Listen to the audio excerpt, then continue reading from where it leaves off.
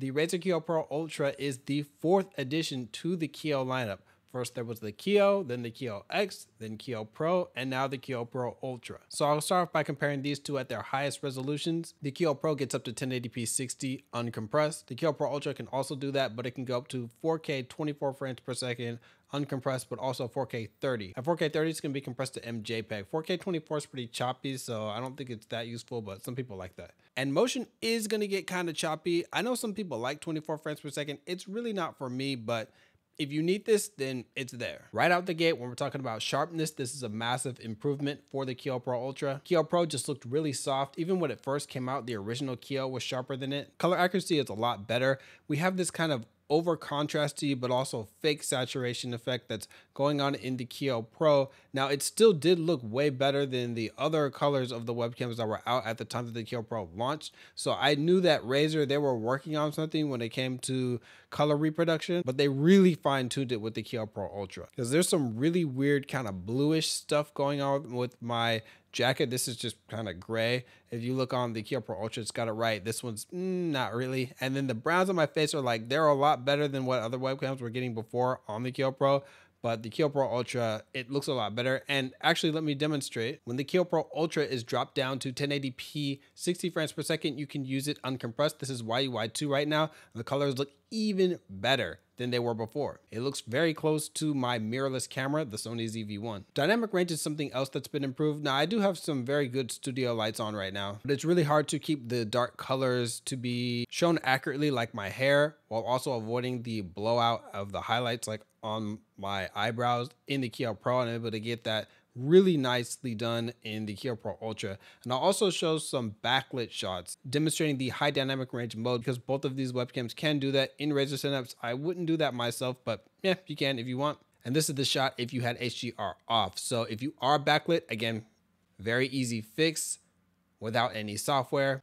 Okay, so now I'm completely backlit with the Kiyo Pro. So let's go ahead and turn the HDR off. Now this is the Kiyo Pro Ultra and HDR is off. This is right in OBS. Now we do have an improvement here, but things are looking kind of warped back there. Now this is actually at 4K 30 frames per second. So what I'm gonna do is I'm gonna attempt to change the exposure manually. So yeah, it looks pretty interesting. It's hey, if you're into this type of effect, like by all means. Now, one of the major differences between these webcams is the depth of field, the shallow depth of field that you're able to get on the Kiyo Pro Ultra. So with this device, you can see that everything in the background is about as sharp as what's in the foreground. Well, nothing's really that sharp on the Kiyo Pro, but you're still able to read the text that's like on these boxes over here. Now the Kiyo Pro Ultra, besides the excellent dynamic range that this device has, shallow depth of field for the first time on any webcam that's ever come out. Text is blurred out very nicely, even over in this direction with those boxes to the side. Now this is some low light performance with the Kiyo Pro and Kiyo Pro Ultra.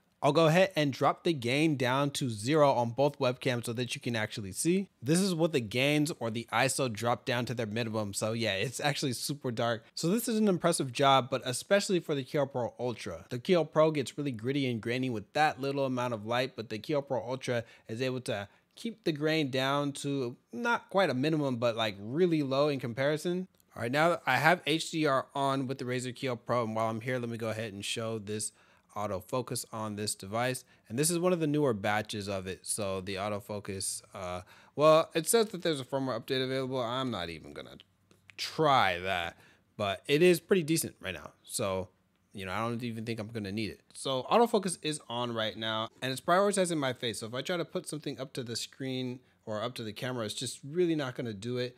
It knows where my face was and it's really gonna try to just keep that in focus at all costs. Uh, but let's go ahead and put this on standard. So that way, whatever is moving or closer to the screen, it is more likely to pick up.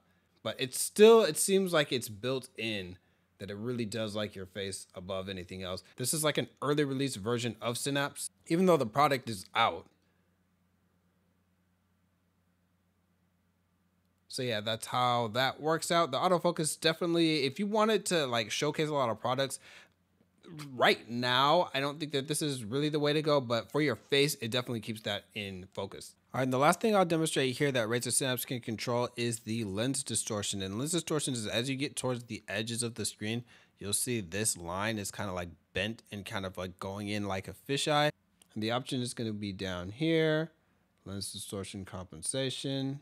So now that line is straightened in. It kind of cropped in, zoomed in a little bit, and like adjusted for the edges. I'm actually not sure the technical method of doing lens distortion compensation, but it did a great job, so I'll take it. Both of these webcams have built-in microphones. I'm starting off speaking into the Razer Kiyo Pro. It's kind of tinny, but you know, it is webcam. And it is pretty far away from me. And now I switched mics over to the Razer Kiyo Pro Ultra. Again, similar comments as to the original Kiyo Pro.